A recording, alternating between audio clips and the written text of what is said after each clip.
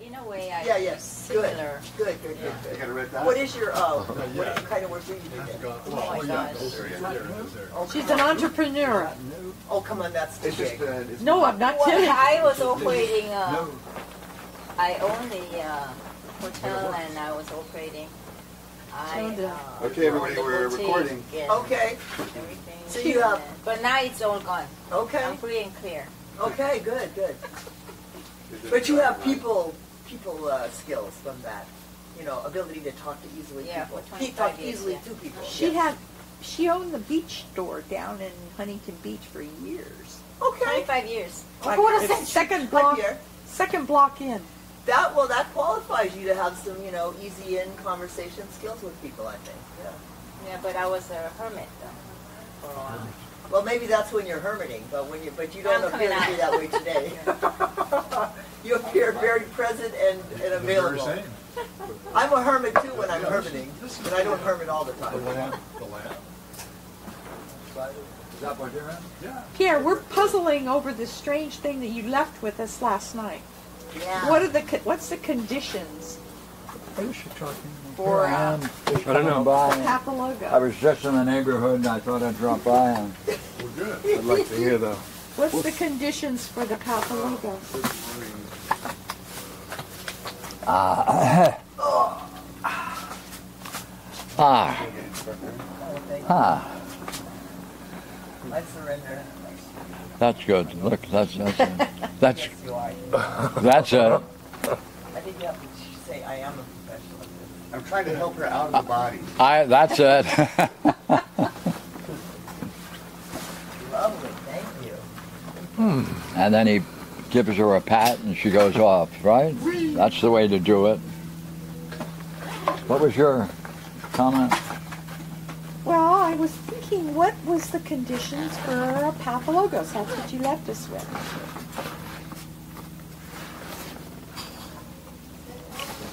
One of the things you left us with. Yes, I think also it was to. Uh, uh, why is the, why is there suffering if there is Oh, a pathologos? Right, right, sorry. That's right. Exactly. What's the conditions for suffering? That's right. Well, I came up with ignorance. Right? And you did you came up with? ignorance. Well, I was thinking that if you have suffering and you have people that have, if you're seeing and you're doing well, then you don't have ignorance. You're, you're not under a belief system. Well, uh, But I was, see, it raises a question that our friend Igmar has had for quite a while, good, ask him.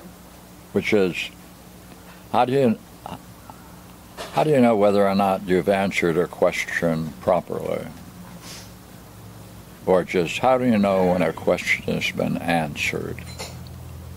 Is that a good question? Mm-hmm. Like, why wasn't her answer adequate? Or would you say, hey, the reason she didn't get any applause, it was absolutely obvious and no one gave it down?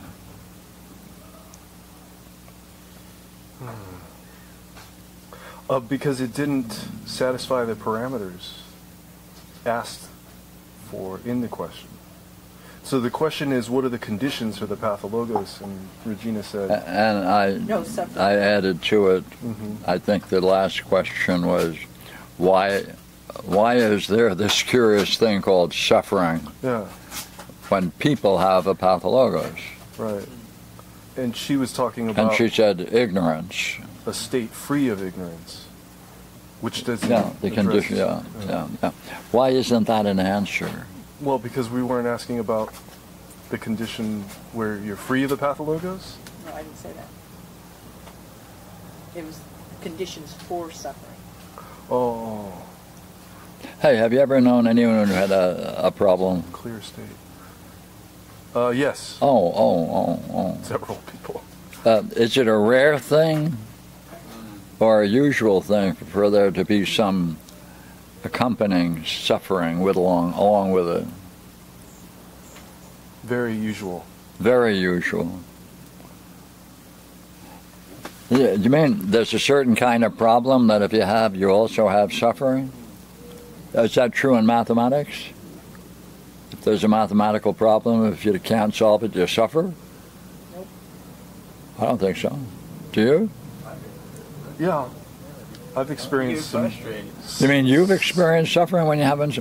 Oh, stress No. about not solving a math problem, oh. thinking I'm stupid. That's Oh. different. Well, then it's more than in pathologos. It's also in math. Uh, Regina disagrees. I disagree. I don't think it's because you're What does she solving it. disagree about when you and I were agreeing? Go ahead. I don't think you find suffering in doing math. I think you may find suffering in your belief about yourself in doing math, but not math. It may be that uh, he suffers in mathematics when he can't solve a problem because he gets frustrated and doesn't like the idea that he can't solve the problem. That's right. But that's not math. But is it always true in mathematics that if you have a problem trying to solve something, you end up suffering? No. What would you say? No. No. So you're just an unusual case. No, I'd agree with, Oh, oh now you agree. with Okay. Jeff's answer. yeah. Okay, thank you for helping him. Thank you. Wait a minute. Are there other kinds of problems people have?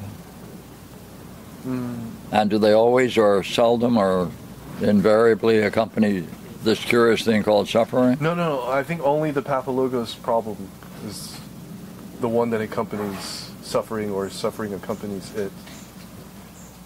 What do you think?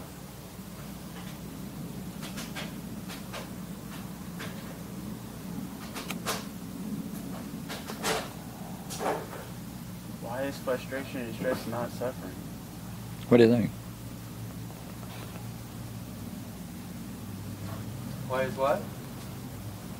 You just said- By the way, would you agree there's things called having a problem? Yes. Um, agree.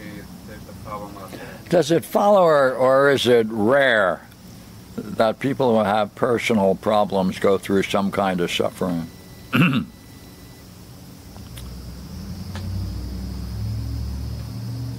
Well, I think they do suffer, but maybe they don't realize they have a problem, so that's why they're still in it, still suffering in it.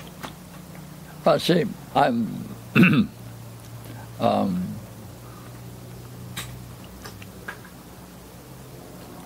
I, I don't think that's true. Because um, I've known many a person who in no way suffered but had all kinds of deep problems. And they just didn't, they didn't suffer, they didn't give a damn about the fact they had a problem. I don't believe in those people. You don't believe? What? I don't believe they don't suffer. What? Though they're like Mickey Mouse. Huh? What's this? No, I think if you got a deep problem, you got to suffer. Then those people I met denied they really were suffering when they didn't realize they were suffering. Uh oh, that's a, this is a different kind of problem.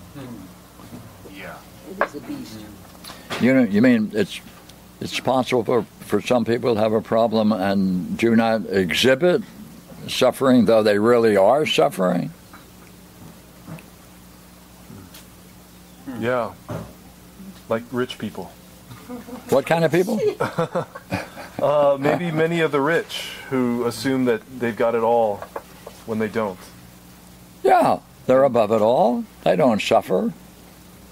You'd say, yes, they do, but they're good at hiding it. From themselves, especially. yeah. Is that? Oh, so there are two kinds of suffering the kind that comes out, and the other you can keep in your back pocket. Right. Is that right? Is that your position? Yes. Two kinds of No, no, no, no. What? I say there's only one kind of suffering, but there are two reactions to it. Oh, there's one suffering but two reactions. One you, okay. What would you call it? Uh, I would say denial ain't just a river in Egypt, baby.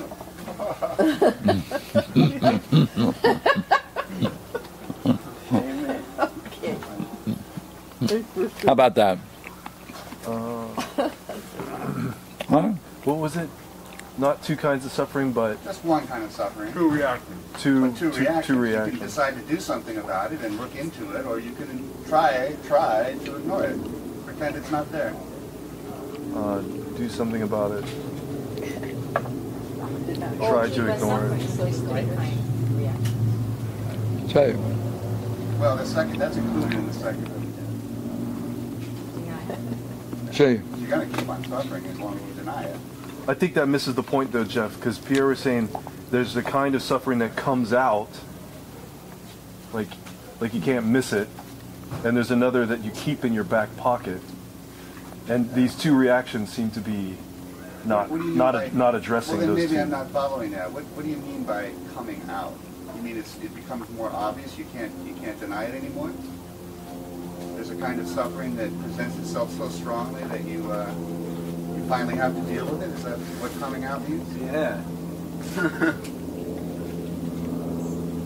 But then, No, I go would, ahead. I would call that not a different kind, but a different quantity. It's just a more intense version. It's a problem. It's the same suffering, but it's just gotten, it's admitting of degrees, but it's the same kind. see, the question would be, uh, i- is that kind of suffering that you just described found among humans? Yes. Uh, does it only occur with the pathologos, or can it happen with other things? Other kinds of failures.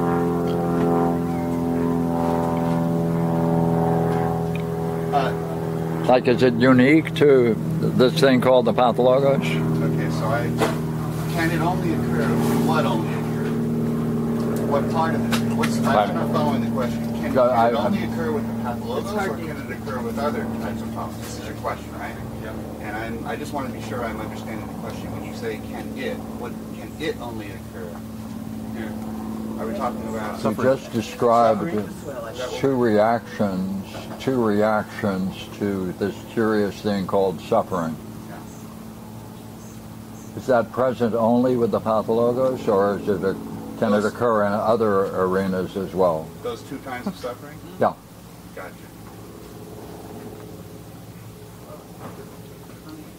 I think as you have defined it, and uh, we are agreeing, I would, I'm, I would, I would be hard pressed to find non-pathologos problems that would exhibit those two types of suffering.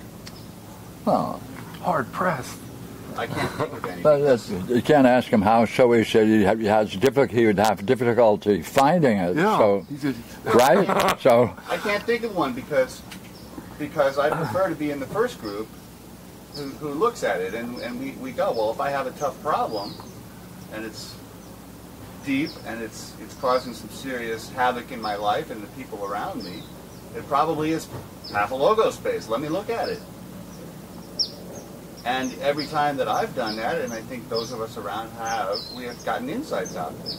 So that's why I'm saying I can't think of. I'm, I'm well. I'll, I'll be more strong in my language. No, Thank you. What's all this hedging? Now he's solid, Pierre. He's certain. well, I'll go for it. See, if you can say there's then this one kind that exists with the pathologos, our question is, how come? Why? Since there are many kinds of problems people have that uh, do not have this curious thing called suffering.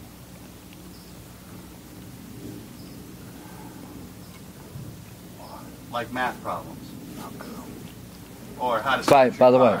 I understand you're one of those kinds of people that uh, spend some of your time hitting uh, white, little white keys Little buttons, yeah. and black keys. Is that right? Yeah.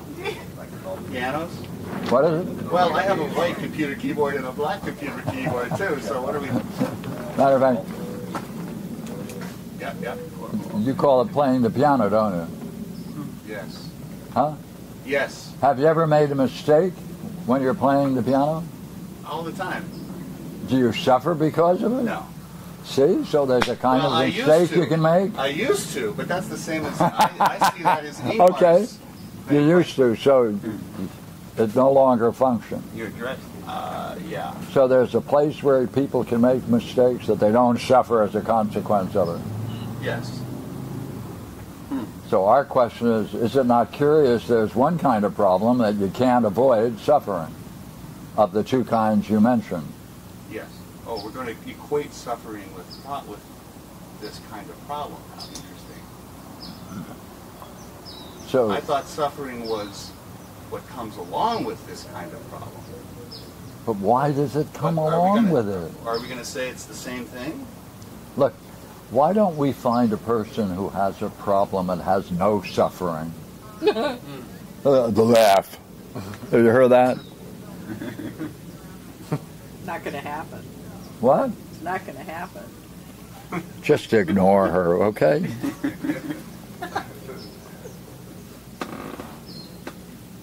Uh, can you tell us why you think it's inevitable that there's that connection between the two?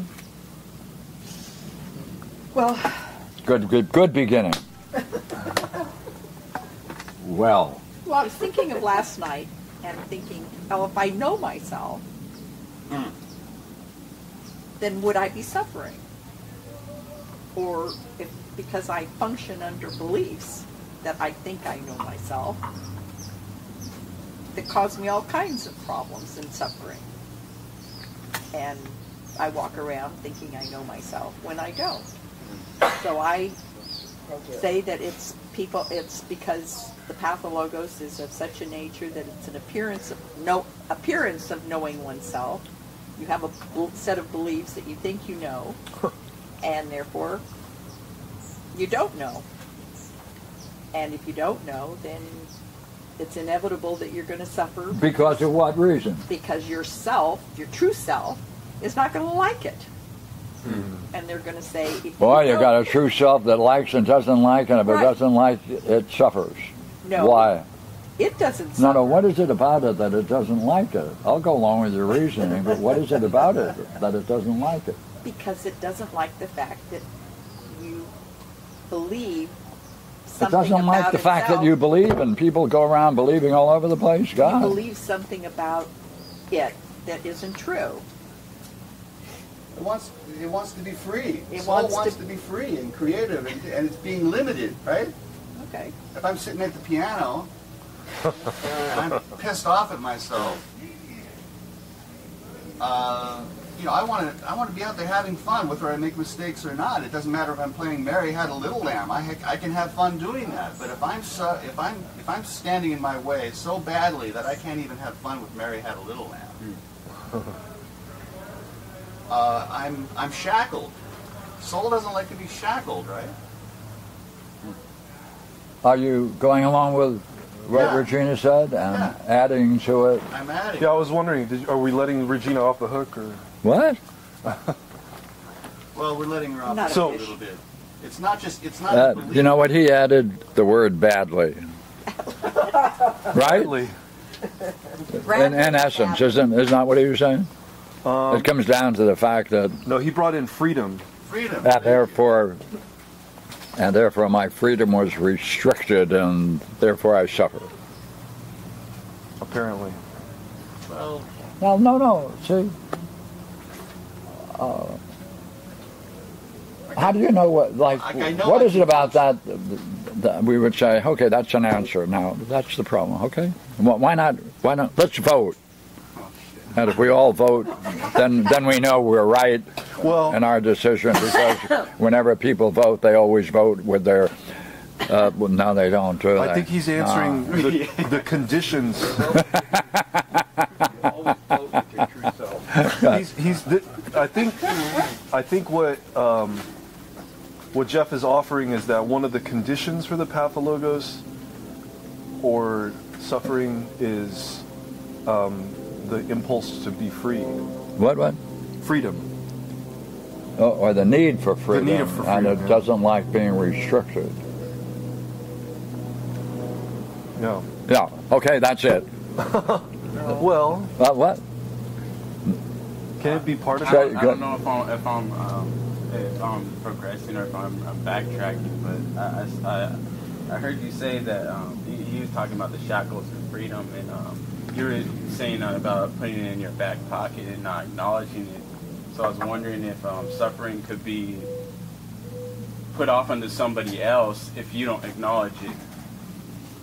With the lack of accountability and acknowledgement, does suffering affect somebody else? Does someone else suffer because you don't acknowledge suffering? I think it's worse. I think you want people to suffer the same way you do, so you, so you teach them how to suffer. Yeah, that's. And then they feel at home. Yeah. That's it. But when that didn't ex- did that explain it? That's, that's Did it? What Jai offered? of No. Yeah. Jai raised another question. Ah, This is like an effect. This is an effect. Does someone else suffer because you don't acknowledge the suffering? What are the what are the what are the consequences of you not acknowledging the suffering? Well, that's one way of getting rid of the suffering. now I'm going to sneak in and uh, I, I found that this was empty, so I'll go around. We'll try to have good answers by the time you get there. It's still cooking, Jeff. I want to try it. Give it a minute. Ah! It's gonna Anybody be, else? It's going to be a minute because the coffee's about three. Coffee's about three minutes out. All right. See three minutes. Well, isn't everything in this world a condition for suffering, or a condition for having a problem? Like our birth itself, being in a body. It may be, but that didn't answer why it's that way and why it has to be that way or should be that way or that's the condition of life. That you have to suffer? You have to suffer. God wanted to create a universe with suffering in it. That's why Listen, um, he saw some good in that. the only the only question then is, um, let's get them down here and ask them and and ask them, hey man, look here, how come you had to add that? Uh, Offer him a cup of coffee. Are coffee. you, if you don't mind my using the expression, are you somewhat perverse? since since it isn't necessary. Twisted. Here, I seldom say when I looking at the uh, situations and then whatever that I go through the, the situation. Mm-hmm. Or I just look up. I joke or so something. See that? I didn't get it. See, look here. See, would you agree? If there's a lot of space, there should be a lot of room for a lot of things. Yeah. Including problems. I hope so, because I got tons of shit. Right? Second, would you agree that if there's a lot of time, there's a lot of time for a lot of things? Thank goodness. Mm. So if space and time are infinite, there could be enough room for everything that we call our universe somewhere else, At least.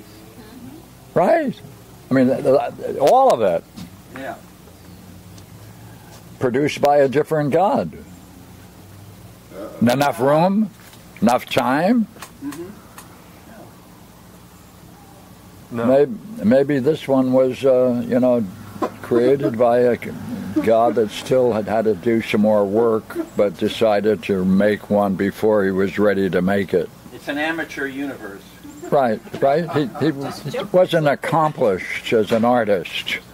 I mean, his creation had this tragic flaw in it. But somewhere else there's another universe where it's, it's, it's pure. This one is faulted. no?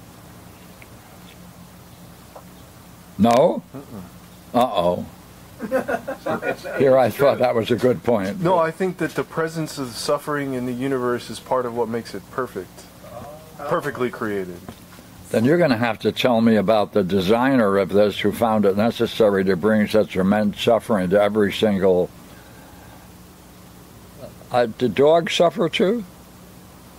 That's a good question. Some guy just did a study.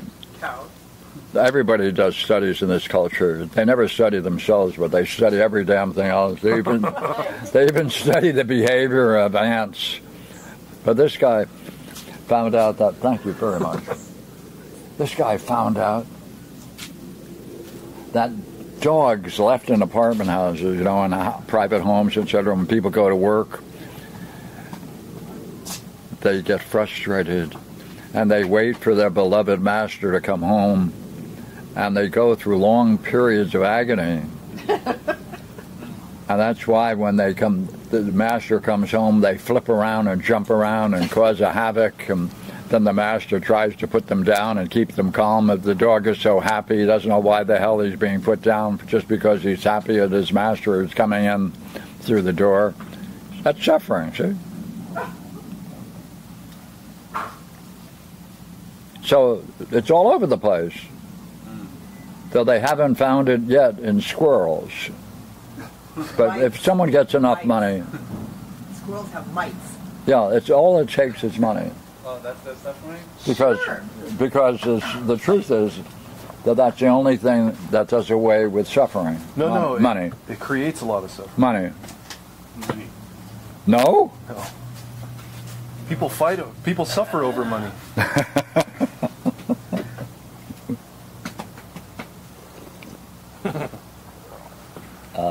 We've been around this for years. How come we're not nailing this more quickly? It's like we're starting What was that? I'm trying. Good, good, thank you. I'm listening well, by the way, I noticed. Thank you. Hmm. Well. Uh,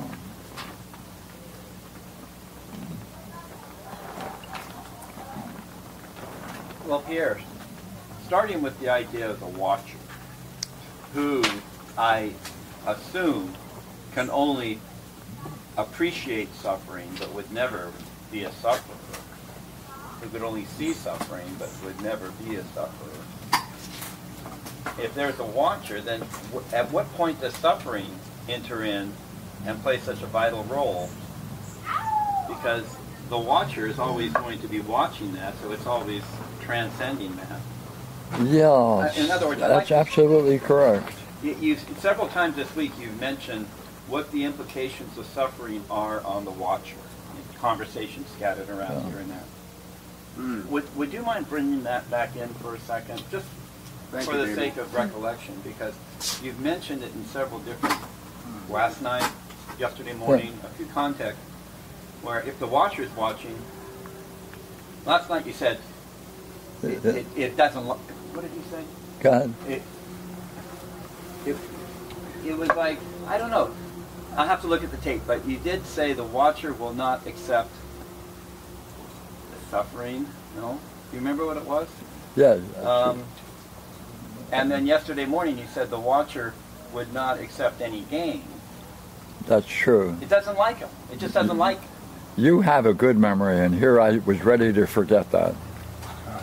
But, but But you, there- you is know what? That raises, see, that raises two questions, which are a lot of fun.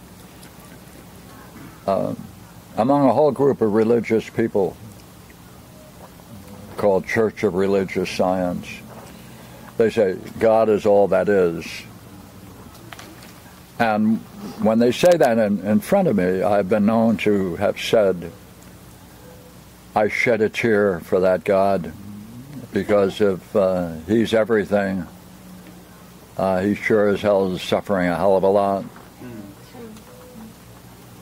And he misses out. so the other side of that. Whatever it is that is the watcher, does it watch suffering? Or is it suffering? See, I, I'm, I'm, the jury's still out on that, but I think it watches it because there can be a turning about at that point and a freeing from suffering. I've experienced that in minor ways. Hmm. So I have a, I, my, my position is that the watcher doesn't experience suffering. It only sees suffering. Okay. See, It's not suffering. th- then, see, uh, that that raises the level of our discussion, but it's still there's still a mystery then, right? About its origin. Then it looks like its origin is not the self, but something else. If the self is the watcher. I mean, the origin of suffering.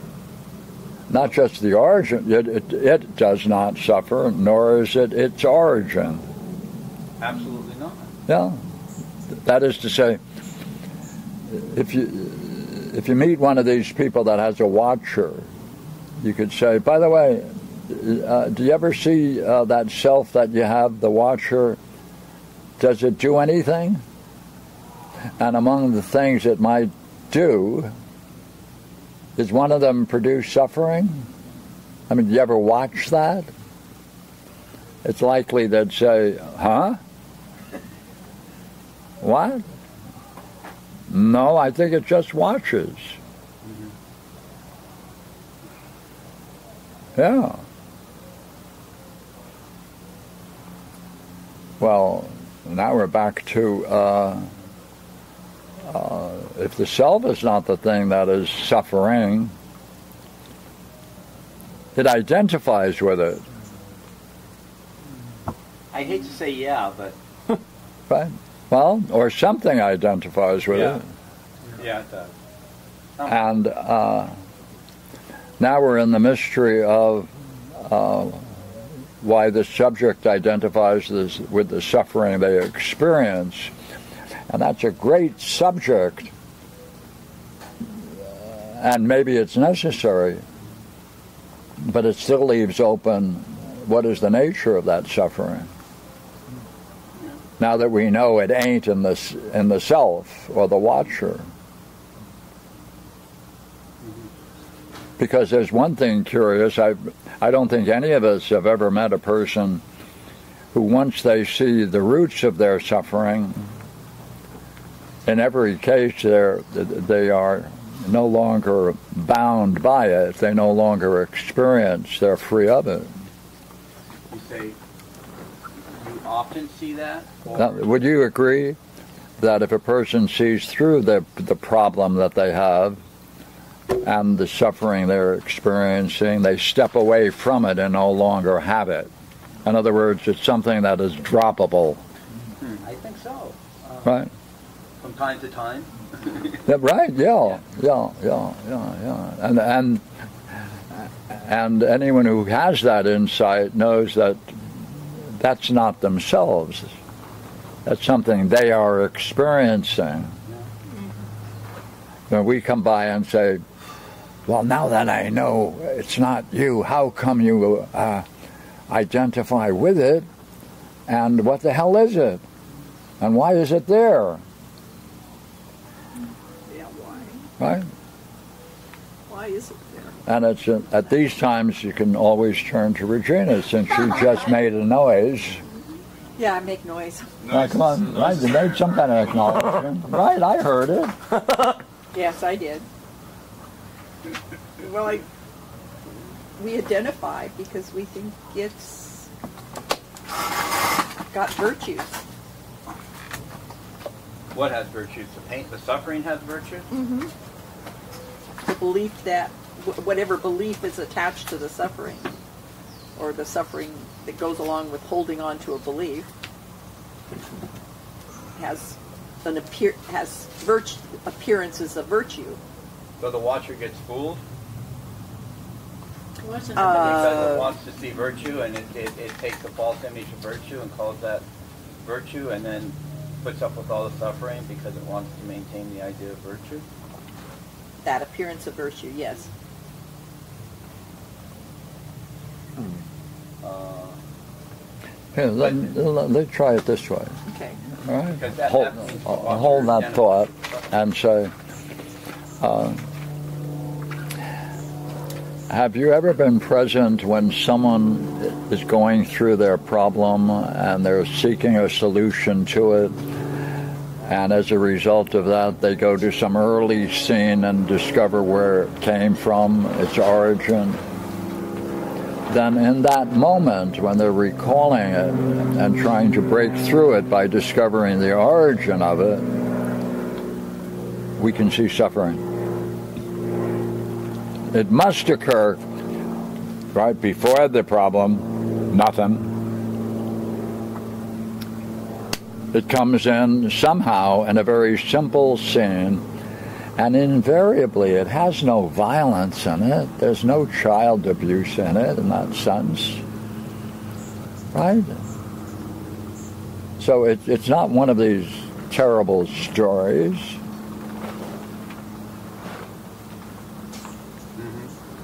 Uh, but it comes in. So let us assume the child goes into some kind of a scene, authorities are there, bang, they walk away suffering. What the hell is that moment? What? What? Hey, wh- where'd you get it, kid? Just because that happened? Uh, right? Wasn't a problem before. Wasn't, yeah, no suffering before, no problem before. Yeah. So it, it has its onset, doesn't it? I mean, it's, it sneaks in there. But wait, wait, wait, wait. Uh, maybe we want to make this. I have a question, and maybe we'll make it a footnote for later because I don't want to derail this. This is great where you're going, but I thought we brought. What is what is the Greek word? We we bring a a way of being with us from previous life Right. that does set up. Uh, I'm probably going to use the wrong words here. Maybe we didn't have this problem yet, If you didn't have a prior life. but That's the origin of suffering, having a prior life. No, no, it- no. Please, uh, it's No, just- uh, that was an un, unintentional joke. Yeah, yeah. yeah. but yet we do bring with us a certain. Well, I just don't know the subject well enough, but we've read through it, and I don't even remember what dialogue we were in. Do you, David? The, is it Metala? That's very important, see, because there are, there are There's people a that have, predisposition that sets us up yeah. based on, and it seems to me that's a type of ignorance that you're bringing also with you. absolutely right. Because if you play the game of looking for, at problems, you'll discover there are times when the parents do something in the presence of other children and they will all walk away with a different conclusion and a different degree of suffering. And one of the theories is that everybody then who comes into that situation must have come in with a background different from one another. And since you can go back to earlier and earlier scenes, it appears that people come into this world with already some way of interpreting based upon some prior experience. Thank you. Okay. Right. But that still leaves us with the question: how, Then we're seeing them come coming into the scene with a new one, getting a new one. So our question is still there.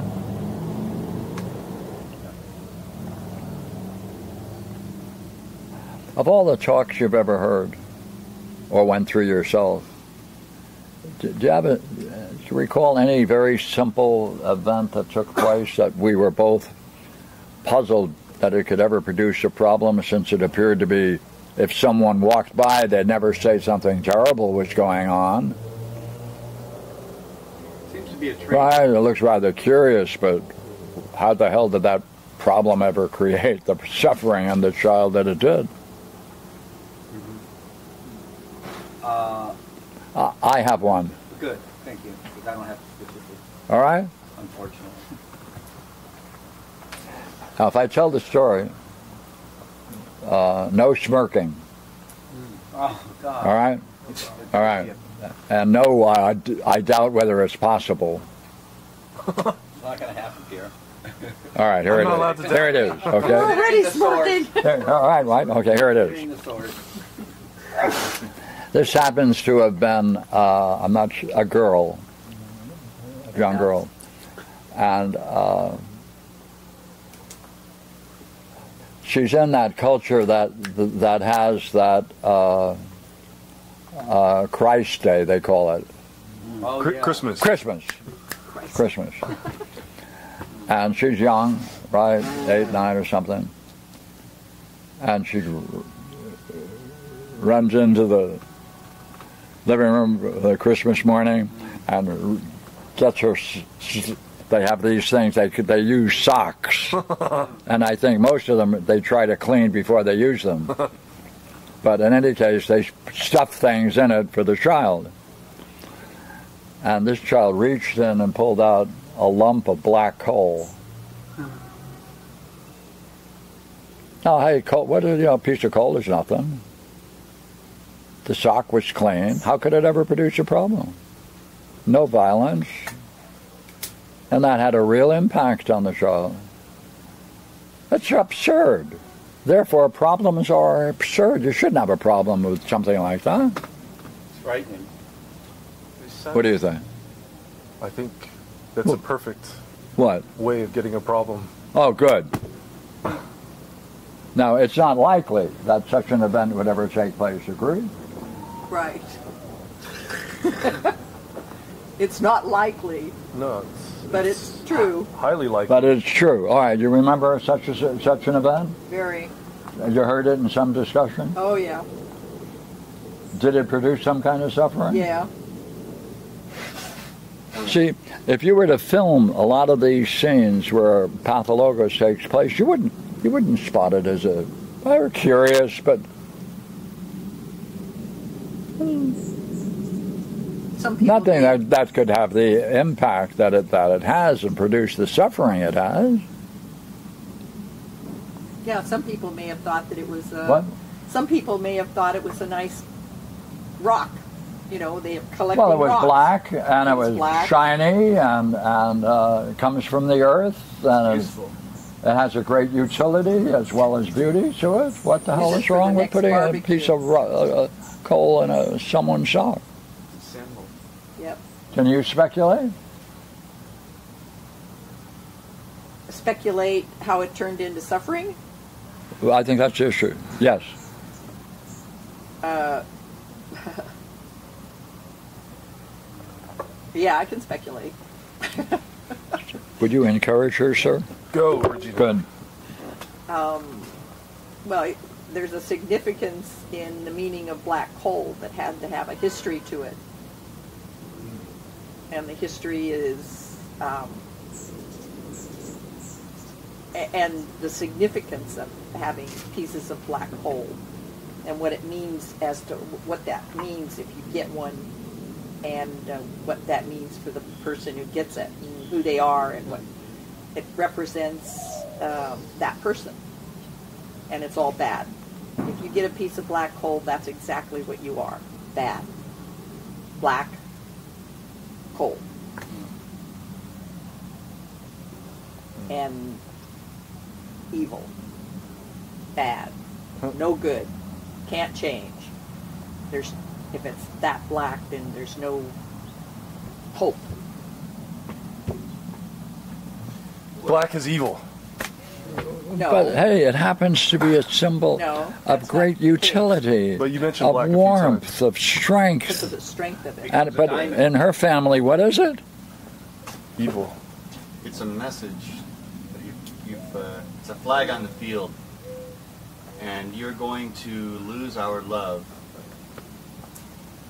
And it forces you to think, well, if I'm kakos, if I'm bad, why? Why am I bad? What did I do? Where did I go over the What, line? what did it do to her? I presume it may have happened to you. Yes. Oh, that's curious. Well, coal was a um, thing that my grandmother and er, early on they used to have huge sections of their house underneath in the cellar where they used to heat the house through coal. And there was nothing good about at all. It was dirty. It was awful. It, we, did, we wanted to stay away from it. Mm. You had certain people who came in and Oh, did it the has work. a whole history. Tremendous. Now you're talking. and then so and it's in the cellar it's in dark bins um, and we were always told to not get even close to it not even be there and there was always fear put into it that uh, the coal bins were themselves dangerous to go into and that's where um, they would take up and that's how they heated the house. And they would have these the, the big furnace. And it was scary, terrifying. So to come in and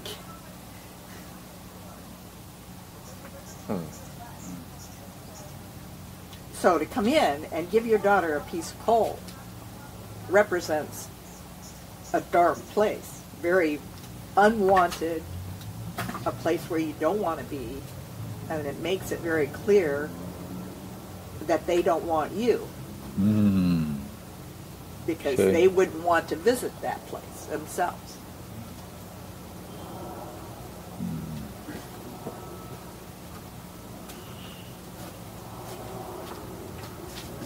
Uh, so, yeah.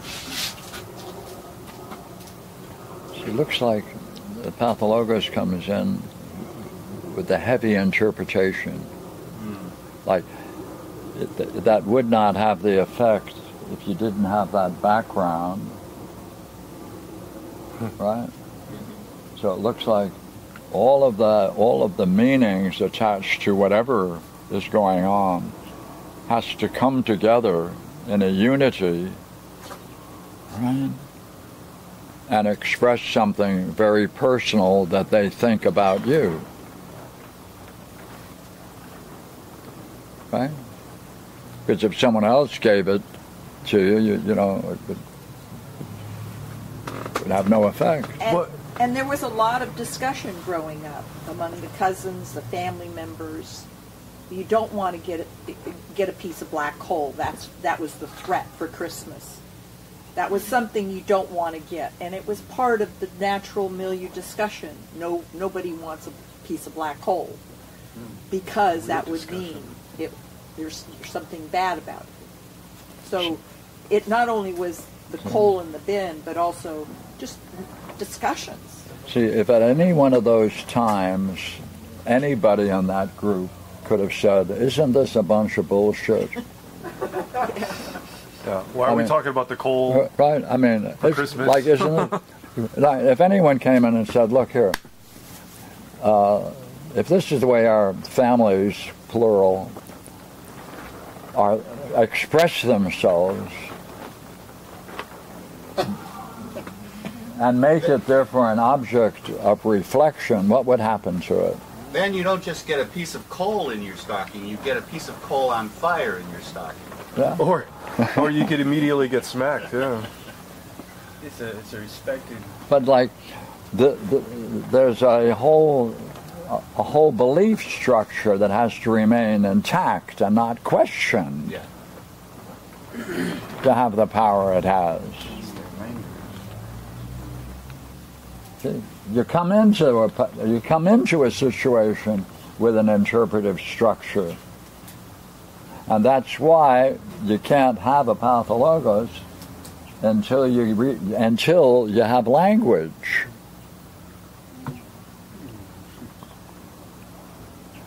And uh, Well, wait, hold on a second. I like that thought for a second because we have we have a few rare stories of children brought up with animals. Yeah, they're wild, and later are rescued and brought into civilization. They grew up without language, at least spoken human language, are they without pathologosis? Possibly, potentially. You see, this idea that I just expressed is true and it's not true.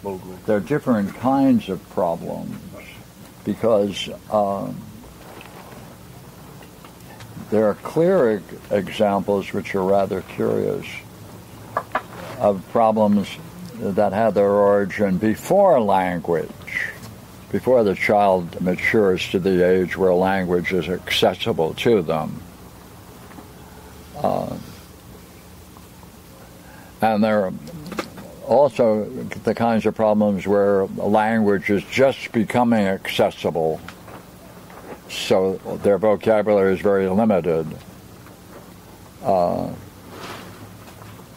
remember that great story of Barbara's. She's two and a half. They moved into a new area in Southern California. The backyard was still un, you know, just undeveloped, little and wild.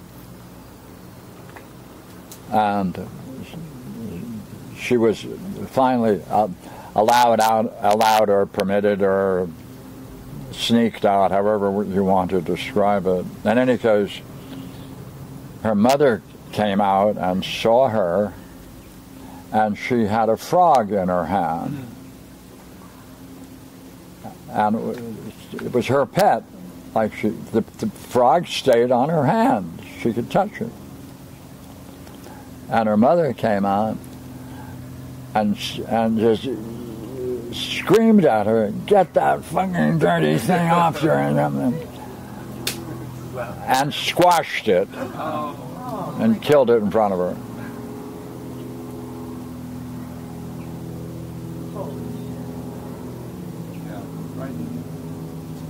Well, that's that's pre-language. She, yeah, yeah. Or yeah. just when it's becoming no, when it's just I mean, becoming she, accessible. Yeah, yeah. Very few words.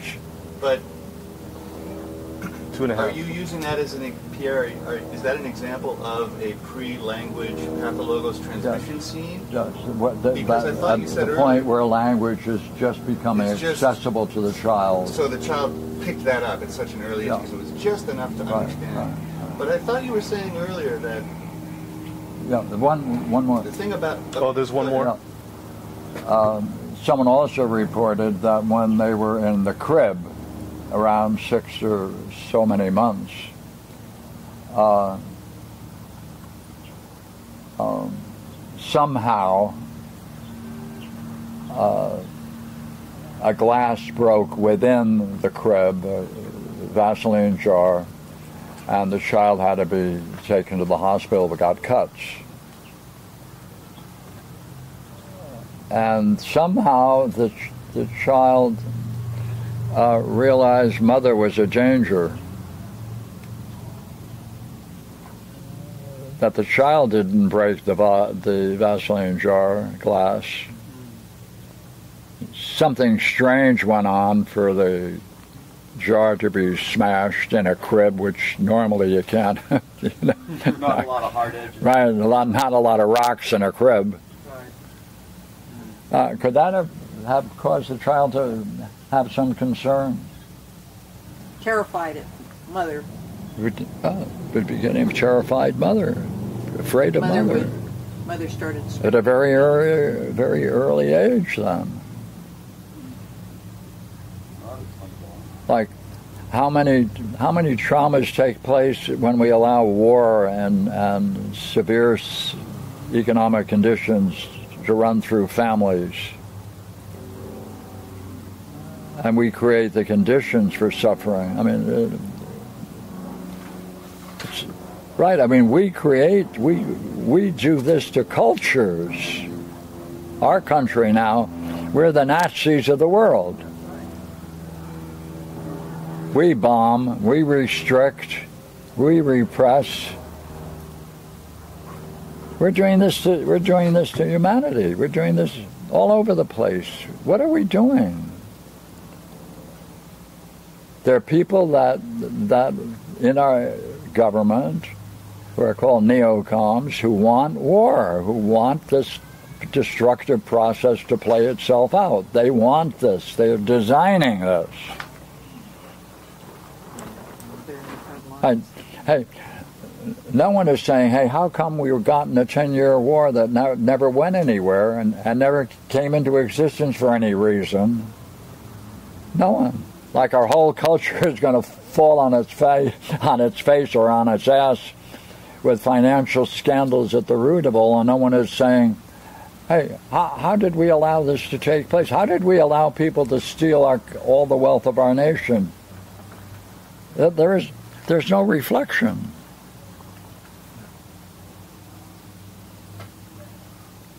Therefore, pathologos can play a game. If you create the conditions for suffering, you're producing pathologos. We're, we're producing suffering. So we have to stop and say, hey, wait a minute. What did the what did the parents do when they put that lump of coal in the in the sock?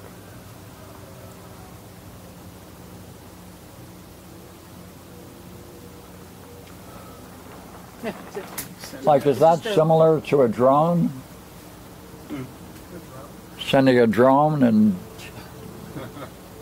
blowing up people at a distance? Creating suffering at the other end? Indiscreet, right?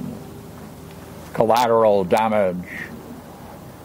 What a word to use to describe killing innocent people. Well, the idea of the, the coal is sort of unconditional that the whole milieu is all uh, a judgment against you. Every there's no specific judgment, but you have been categorically, and I forget what the first word was, uh, yes. unconditionally uh, judged yes. as coal worthy. The, the authority. kind of the the, the, the, the, cloud we live under with our economy and, and war and, and threats uh, there are, and, and that we can oppose, that there's, there's no, from, from a victim's point of view, there's, unless you're carrying a gun, there's no reason for it. And yet you're going to be subject to it, which is yeah, yeah, let me see if I can uh, uh, take what's been said and uh, the child has to, the child or the individual who's going to be doing this suffering has to assume, believe that what's going on is justified.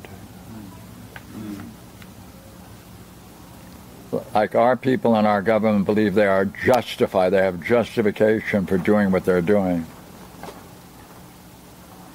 Then they, then, then they can impose suffering in every family.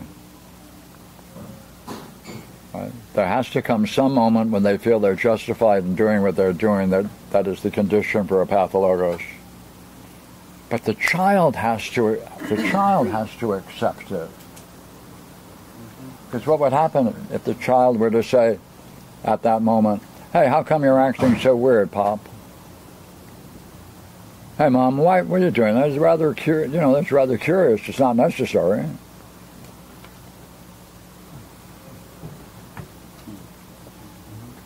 But the first case I ever had, I don't like calling them cases. They're people.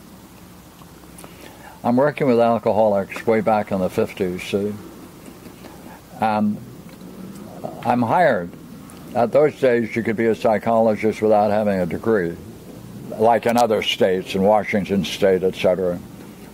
And I was working with uh, at a re- rehabilitation center. And so all I wanted to do is try to understand chronic alcoholics.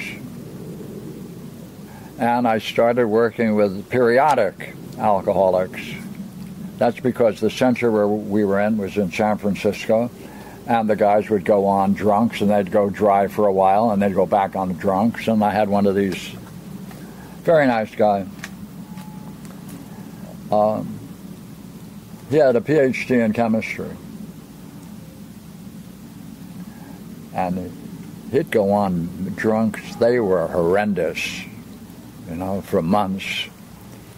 And everything would be destroyed. And then he'd in the hospital and i'd come out and so we'd have talks. So I got to the point where we used to be able to go to the blackboards. We had about six of them on the wall, and we just described the journeys that he wanted that he could recollect. After about the third time, we said, "Hey, isn't this similar to the, the, the yeah, it is similar. I wonder why it's similar."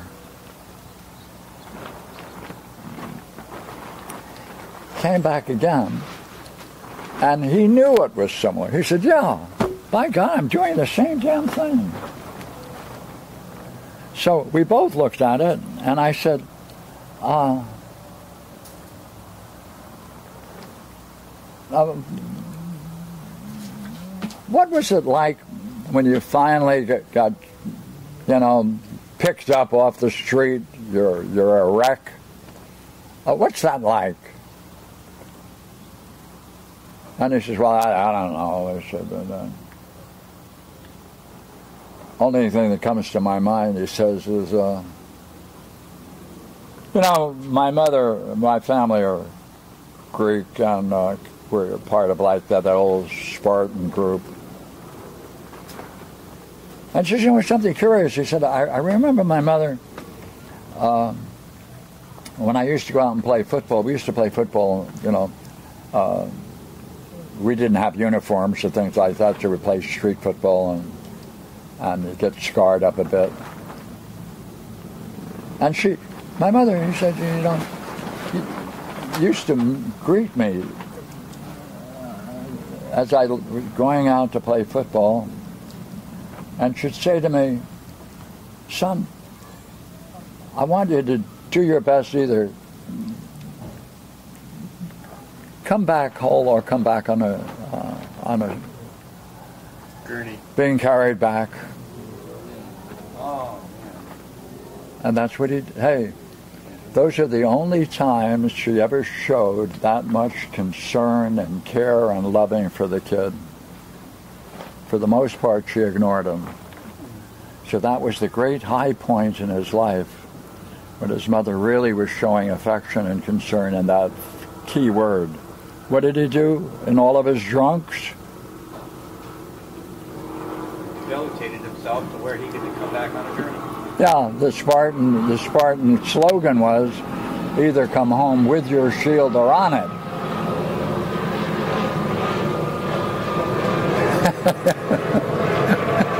she was still living it. Telling her some when you're going out to play this game, which is pretty deadly in a way, either come home with your shield or on it. So he did. He came home on on the shield. An option. It's an option. Like that scene could be filmed by any number of people, and you never say it's a problem.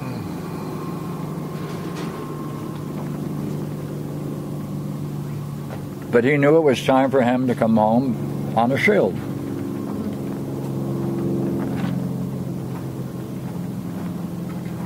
It's ancient. You know, they're ancient. They're, they're ancient. Like Regina said, her whole family, her whole culture is in that coal game.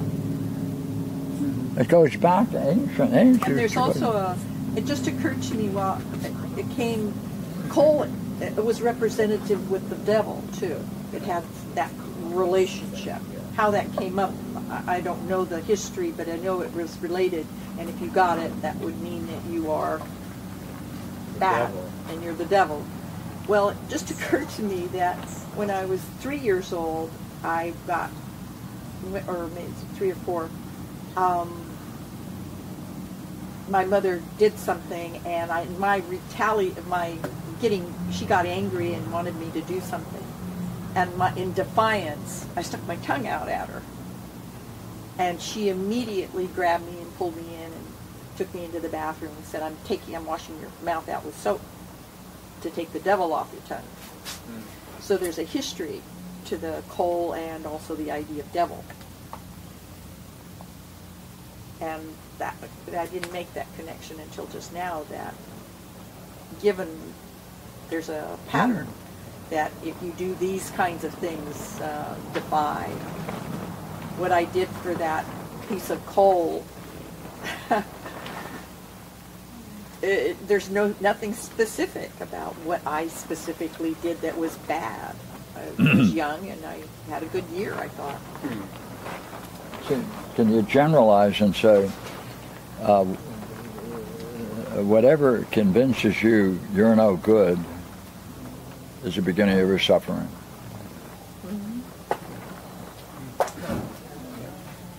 Now you can dramatize that and say evil, bad, etc. Yeah, no good is good word. Like when you when you have to say you're no good, then you're carrying a weight, and that weight is suffering. Yeah.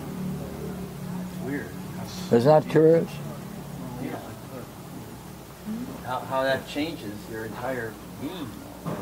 See, so when when people uh, like when you even now are going back over that story, mm-hmm. it's likely that to that degree, whatever is left of that is right now being diminished. Like, is it helpful to go through that, just to review that? Yes, because even one of the, the thing that you mentioned when you started was if you just took this scene as you started out and describe it, is there anything that you would say was problematic in it? And I was shocked at that moment when you just said it. And I said, I've never thought of it that way. I've always seen it as bad, that there was, you know, represented that I was no good. I never thought that there was any way other than to look at it that way. But you said, well, all it is is a piece of coal. You could have said, hey, thanks for the piece of coal, Mom. What did other kids get? What did my brother and sister get? Piece Yeah. of cement or something. Till that moment, I never s- considered until just Yeah. that there was another way of seeing that scene. So yes, yeah. to that degree, I'm, I'm re- more removed. See, the, the other side of this is that when you say yourself, tell yourself, not tell yourself, see yourself as no good or evil, then all kinds of activities are now there for you, whether you like it or not, because you're evil. I mean, you can't do what's good if you're evil. So your choices now in life are, are narrowed and twisted. But if, re, if reflection can reduce it, the curious thing about it, see, taking just what Regina said, we don't, we don't grasp the implications of calling yourself no good and accepting that judgment that you're no good. Right? Like even now, there may still be parts of it that still linger that haven't been identified that are worth reflecting on. It, that has that power, like it's so pervasive. It's like it seeps into every corner of your psyche, and, and it can't just be extracted like a tooth. Right? Like, you curious? yeah. Yes. That must be because the self is pretty pervasive and not like a tooth. When I'm suffering, everywhere the watcher looks, there is suffering. Yeah. See, and the watcher wants to watch the dissolution of the problem. It does. Right? It does. Like it's I- it's hot on this. This is the thing it really wants to get rid of. I think so. Everywhere. Even among the rich? I don't know about that. They're a different breed of people.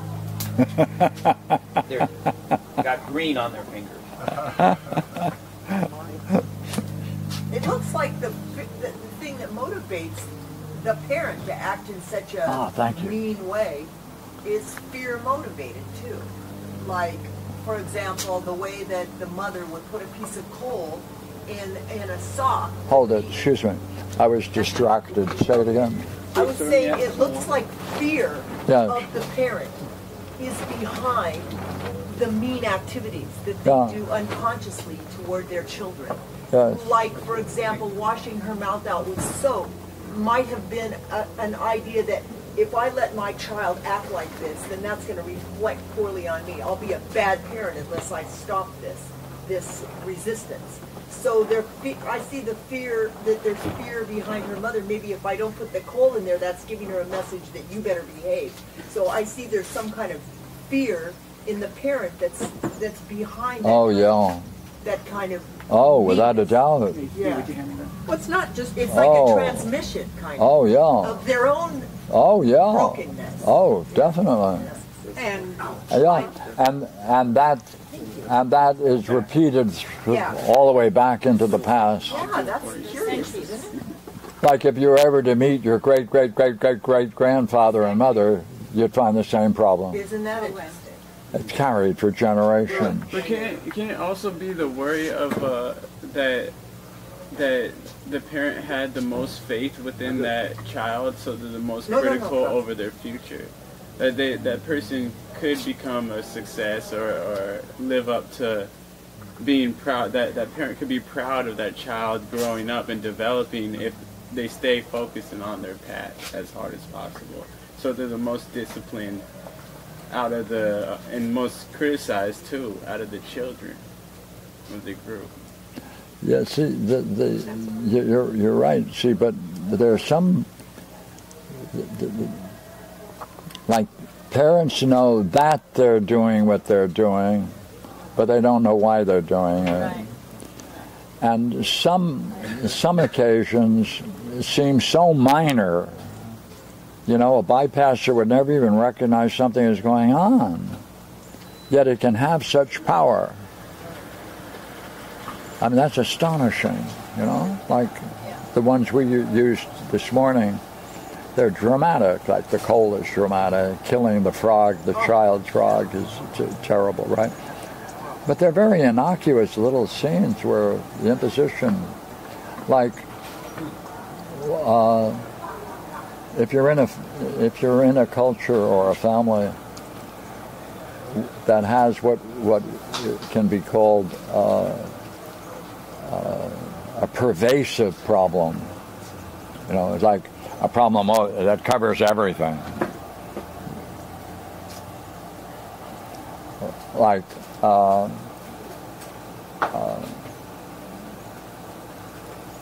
it may not you may not think it's possible but uh,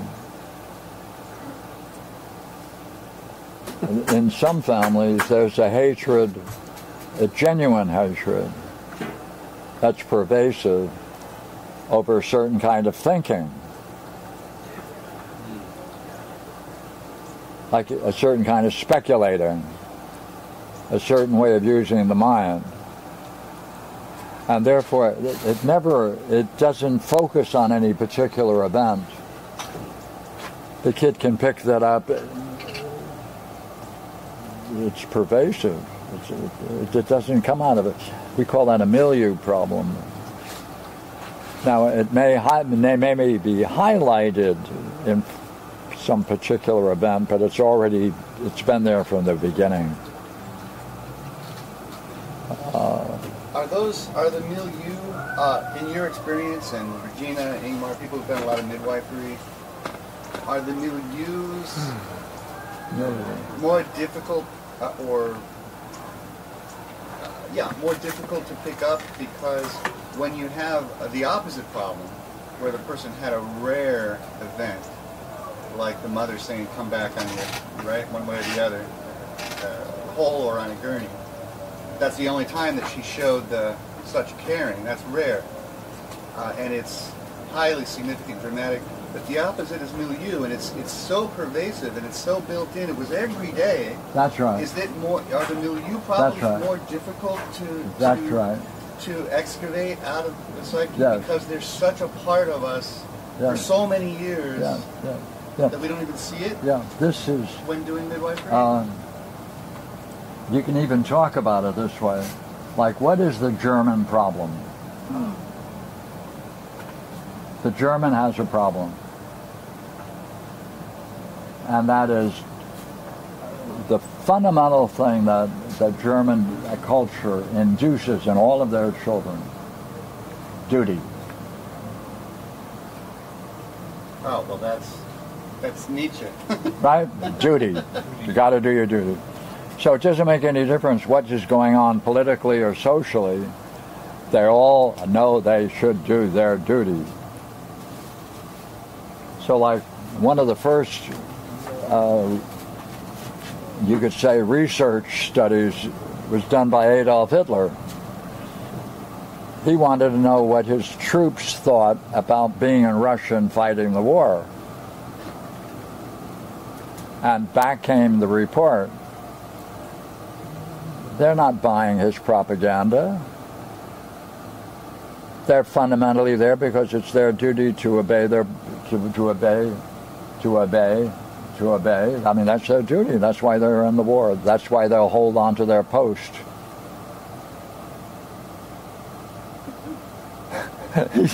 he, got so upset he said would not allow that of course that such a report to get out. But it was it was made. That sounds a lot like our military, the way that's designed. Yeah. to. You just do it because that's your Like whole cultures have a Right or wrong. pervasive.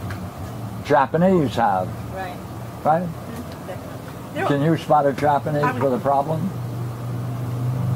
Um, Would you say Japanese as a culture have a problem? of course.